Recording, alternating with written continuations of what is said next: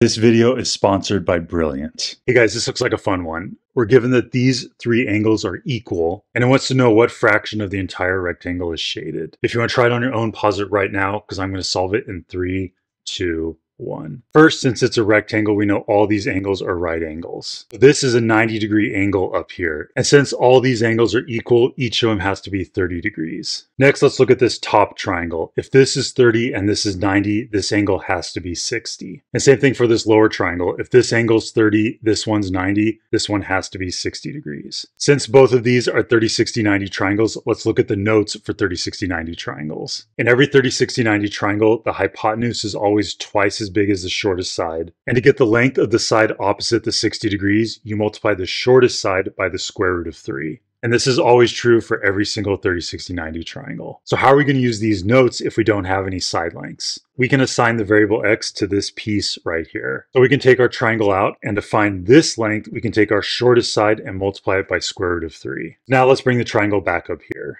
we have this piece in terms of x, and we have the height of our entire rectangle in terms of x. And in a rectangle, opposite sides are congruent, so this side is also x root 3. Now let's pull this triangle out and let's find the length of this side in terms of x. We're going to take this x root 3 and multiply it by square root of 3. So we end up with x root 3 times root 3. Root 3 times root 3 is equal to square root of 9, and the square root of 9 is equal to 3. So this side length is equal to 3x. So let's bring this triangle back up here. Now looking at this rectangle, we have both the height and the width in terms of x. Since we know the whole width is 3x and this piece is x, that means this piece is equal to 2x. And now we're ready to answer the question. We want to do the shaded area divided by the total area. The shaded area is this triangle. It's going to be 1 half base times height. So it's 1 half times the base of 2x times the height of x root 3. And then to get the total area of the rectangle, we're going to do base times height. The base is equal to 3x and the height is equal to x root 3. And now we can clean this up a little bit. This 1 half times this 2 is equal to 1. And this x root 3 and this x root 3 are going to cancel each other out. So now we have 1x over 3x. Well, these two x's will also cancel each other out. Now we have the answer to our question. One third of this entire rectangle is shaded. Let's put a box around it. I really like this problem. I thought it was brilliant.